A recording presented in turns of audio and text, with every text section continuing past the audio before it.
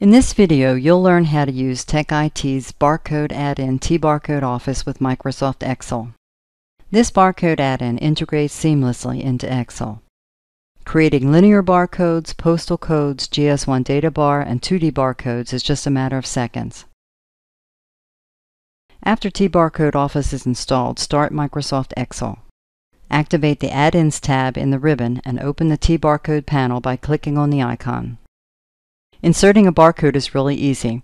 Just enter some barcode data, then select a cell which should be converted into a barcode.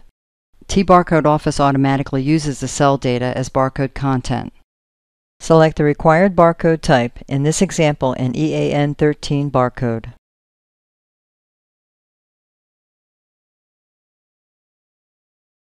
And click Insert Barcode. The barcode is inserted immediately. You can choose between three different sizing modes. Fit into bounding box. The barcode is always drawn in the size of the bounding box. The module width adapts to the amount of data. Fixed module width. The width of the barcode is adjusted to the amount of data to be encoded. And fit to cell draws the barcode in the size of the selected cell. The inserted barcode contains static data but how to create a barcode which updates automatically. TBarCode Office offers a very convenient cell linking feature. Select the barcode which should be linked. Click Link to Cell, and then select the cell of interest. And that's all. Whenever the content of the linked cell is changed, the barcode is updated automatically.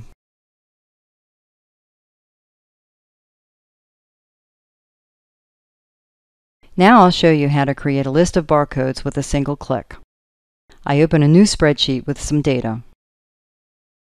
Mark the cells that should be converted to barcodes. Select the required barcode type.